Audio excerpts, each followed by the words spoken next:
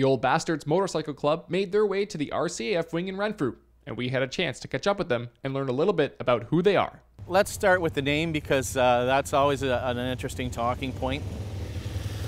Uh, the name was uh, was uh, arrived at by the original uh, location for the club, which was Old Bastard Township. And uh, after amalgamation, the name got changed, but the residents still referred to the area as Old Bastard, and that made an interesting name for a motorcycle club. The club is all about people getting together to talk about their love for bikes, and you don't even need to own one to be in the club like I say, you don't need to have a bike to, to be a member of this club. Uh, it's just the appreciation of bikes. Uh, a lot of our members have newer bikes uh, that they ride, uh, but they also have a collection of older stuff and uh, everything from little scooters. Um, I have an old uh, 39 Harley that, I've that I'm in the process of restoring.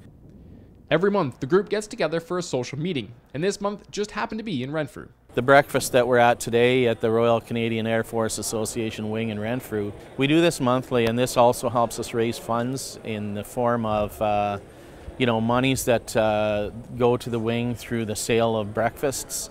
So uh, we like that uh, concept because it keeps the money right in the community where we have it, and we move it around from different communities every month.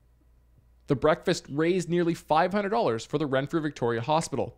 So if you're interested in motorcycles and are looking for a group to get involved in, perhaps the Old Bastards could be right for you. If you're looking for people with with like interests, you're going to find all kinds here because uh, there's there's men, there's women, there's old people. Dub Juby, our oldest member, is uh, in his 80s, and uh, he's still an active rider every day, and, and I'm sure he will be as long as he's able to sit on a bike and and ride it.